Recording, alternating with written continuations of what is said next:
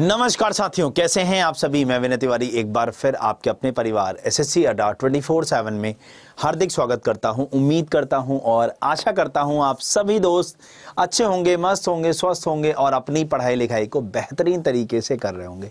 तो जितने भी हमारे दोस्त ग्रुप डी के एग्जामिनेशन की तैयारी करना चाहते हैं बेटा, उन सभी लोगों के लिए मैं बता दूँ कि ग्रुप डी का क्या प्रोसेस है, क्या एलिजिबिलिटी चाहिए, सारी चीज़ के लिए मैंने एक शॉर्ट वीडियो कर रखा है। मैं आप लोग को वो वीडियो दिखा देता हूँ। उस वीडियो को आप लोग देख सकते हैं। आप लोग अगर यूट्यूब पर जाएँगे, अड्डा यूट्यूब पे जाएँगे और वहाँ पर आप एसएससी अड्डा को जब ओपन करेंगे हाँ वहाँ जाकर आप एसएससी अड्डा को जब ओपन करेंगे तो एसएससी अड्डा में जाने के बाद, अभी मैं इस वीडियो के नीचे भी उस वीडियो को लगवा दूँगा, जिससे आप लोग को सारी डिटेल अच्छे से मिल सके।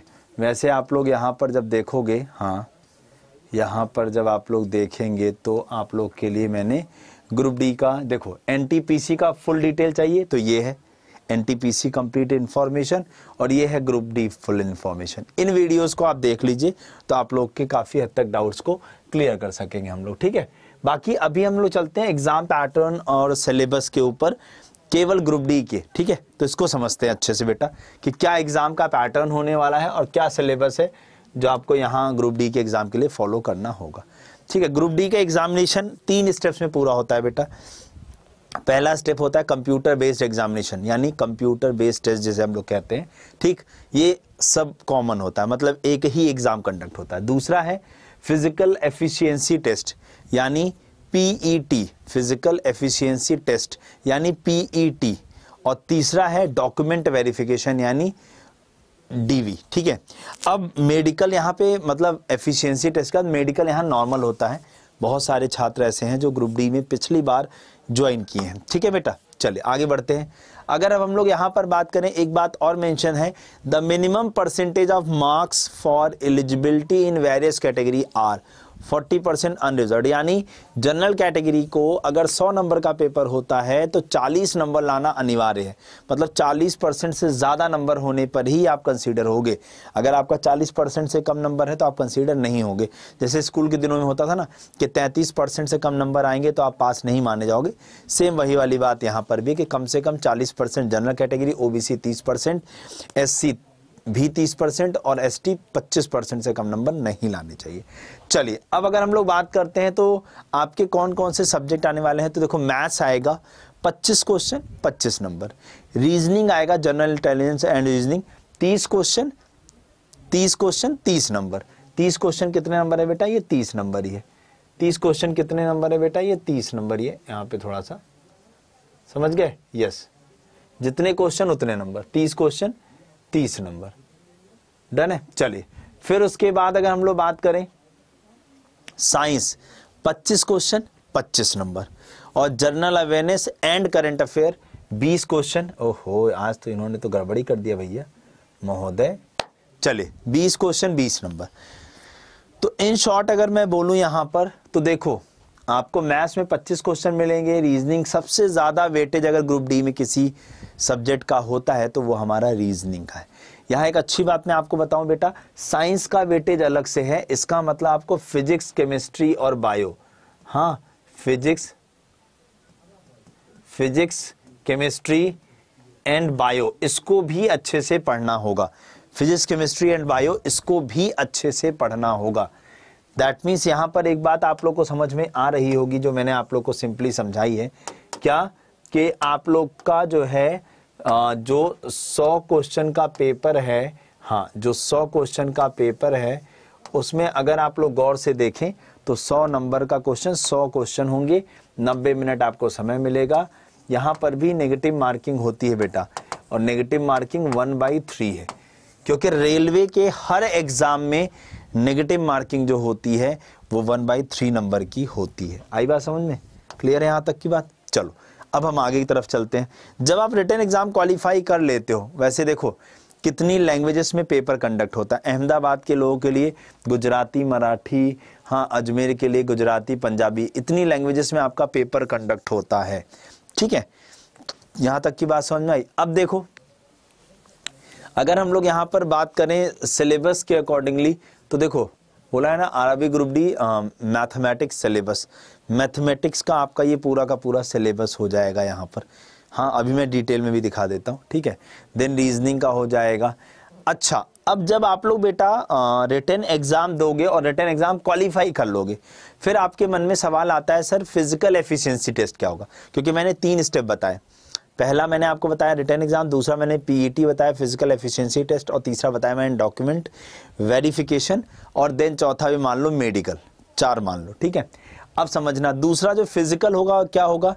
Passing physical efficiency test is mandatory and the same will be qualifying in nature.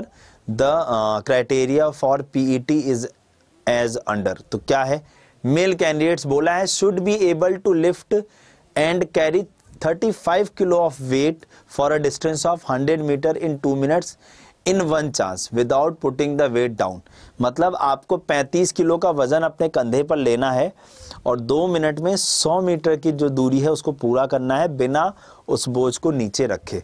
Should be able to run for a distance of thousand meter एक kilometre. In four minute and fifteen second in one chance मतलब आपको यहाँ पर इस चीज़ को पूरा करने के लिए मौका जो दिया जाएगा, वो एक ही मौका दिया जाएगा। वन चांस वन चांस मतलब समझ रहे हो? एक ही मौका दिया जाएगा, दूसरा मौका नहीं मिलेगा। ये मेल के हो गया। और फीमेल कैंडिडेट्स आप लोग के लिए क्या बोला है? कि आपको 20 किलो का वज़न उठाकर दो मिनट में 100 मीटर की दूरी जो है तय करनी पड़ेगी।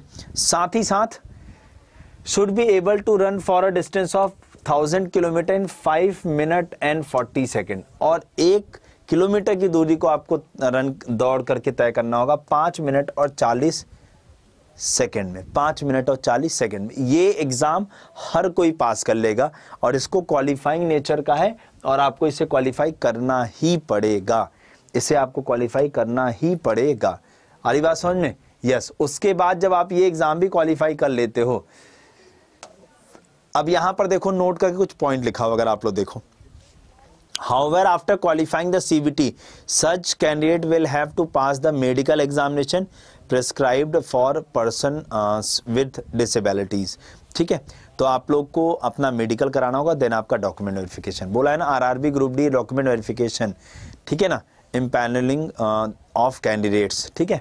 तो बोला है based of on the performance of candidate in the CBT subject to their qualifying in PET candidates will be called for document verification हाँ shortlisted candidates should produce NOC for the employee from the employer on the date of his or her DV following which their candidature will be cancelled अगर आप तब तक सारी चीज़ें नहीं provide कर पाए तो आप कैंसिल माने जाओगे अब मैं आपको लेकर चलता हूँ ये तो मैंने आपको पैटर्न बता दिया अब मैं आपको लेकर चलता हूँ डिटेल सिलेबस पे डिटेल सिलेबस पे। अब देखो, मैथ्स का सिलेबस क्या है? Number system, decimal, LCM, ratio and proportion, mensuration, time and distance, profit and loss, geometry and trigonometry square root, calendar and clock BODMAS fraction calendar C F percentage time and work C I S I algebra elementary statistics age calculation pipe and cistern then हम reasoning की बात करें reasoning analogies coding decoding relationship jumbling D I and sufficiency similarity and differences classification statement argument assumption alphabetical series mathematical operation syllogism Venn diagram conclusion decision making number series analytical reasoning and direction and distance GS की जब हम बात करते हैं GS में general science की पहले हम बात कर रहे हैं फिजिक्स केमिस्ट्री बायो हो गई आपकी जनरल अवेयरनेस में अगर हम लोग बात करने की कोशिश करें, current affair in science and technology, sports, culture, personalities, economics politics political and any other subject of importance, that is history geography economics, ये सारी चीज़ें यहाँ पर आप लोग को मिल जाएँगी। ठीक है ना? डन है? फिर बाकी सेकेंड स्टेज मैंने आपको बता ही दी है और थर्ड स्टेज में आपको इस तरीके से चीज़ें। तो ये आप लोग का डिटेल में मैंने आप लोग को सिलेबस डिस्कस कर दिया है। अब अगर आप लोग चाहते हो बेटा अच्छे से तैयारी करना ठीक है? तो आप लोग के लिए बेटा ग्रुप डी का जो है हम नया बैच शुरू करने जा रहे हैं। अड्डा ट्वेंटी फोर सेवन की वेबसाइट पर जाइए। जैसे ही आप यहाँ पहुँचोगे, अड्डा ट्वेंटी फोर सेवन की वेबसाइट जैसे पहुँचोगे, यहाँ ऑल कोर्सेज दिखेगा। इस पर चले जाइए, यहाँ पहुँचेंगे। ये है देखो रेलवे रेलवे पे चले जाइए। जैसे रेलवे पहुँचोगे, ये है बेटा ग्रुप डी देखो ग्रुप डी का नया बैच भी आ रहा है और ये बैच आप लोग को मिल जाएगा मात्र चार सौ पचास रुपये का। कब? जब आप मेरा code Y four six one लगाएँगे। ये बैच सिक्स मंथ वैलिड होगा। कितना? सिक्स मंथ्स वैलिड होगा। तो मेरा सजेशन ये रहेगा कि आप महापैक ले लो रेलवे का। ये आप लोग को मात्र सोलह सौ पचास रुपये में पड़ेगा। इसके अंदर आप एएलपी की आरपीएफ कांस्टेबल की एनटीपीसी की एसआई की रेलवे ग्रुप डी की, सभी एग्ज़ाम्स की तैयारी और क्लासेस कर पाओगे। बस आप लोग को कूपन कोड क्या यूज़ करना है बेटा? कूपन कोड क्या यूज़ करना है? वाई चार सौ इकसठ वाई चार सौ इकसठ इसका इस्तेमाल करना है और इस महापैक से जुड़ जाना है बेटा। यह एक साल तक वैलिड रहेगा। और इसमें एक अच्छी बात बता दूँ, इसमें आपको लाइव क्लासेस मिलेंगी। इसमें आपको लाइव क्लासेस मिलेगी। कोई टेस्ट सीरीज़ ई बुक नहीं मिलेगी। लेकिन अगर आप महापैक लेते हैं रेलवे पे गए रेलवे ग्रुप डी पर गए, जैसे ही आप महापैक पे क्लिक करोगे, देखो, आपको तेरह सौ सत्तानवे टेस्ट सीरीज़, चार सौ पच्चीस ई बुक चार हज़ार आठ सौ उन्यासी वीडियोज़ और पाँच सौ घंटे की लाइव क्लासेस। ये सब कुछ मिलेगा। बस आपको वाई फोर सिक्स वन इस कूपन कोड का क्या करना है मेरे दोस्तों? इस्तेमाल करना है। आ रही बात समझ में? तो तुरंत जा करके बेटा, इस कूपन कोड का इस्तेमाल करके या तो आप, ग्रुप डी का बैच ले लीजिए और या तो आप महापैक ले लीजिए और अपनी तैयारी को शुरू कर दीजिए मेरे दोस्तों। मेरा मानना है, आप महापैक लीजिए। फ़ायदा आपका यहाँ ज़्यादा है। सारे एग्ज़ाम्स के लिए ई बुक टेस्ट सीरीज़ भी मिल जाएगी। तो होप सो आप लोग को सारी बातें समझ में आ गई होंगी।